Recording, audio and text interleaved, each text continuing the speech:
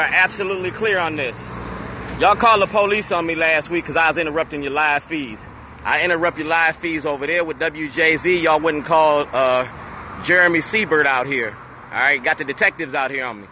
We're gonna even the playing field on this news report because y'all get to report the news and it's all one one-sided. You don't take. You're not fair and balanced.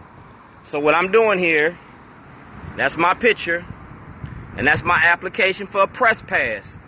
Cause I'm gonna start pressing up on y'all with the camera the same way that y'all press up on us. And I'm also asking for my information from Commissioner Davis about this case here. Cause see, I tried to file this case in Baltimore City in 2011. It was a civil case. Now I want it as a criminal case. Do your job or lose your job, cuz we're gonna put the cameras on you like you got the cameras on us. It's called accountability. Ain't no stick up without a gun.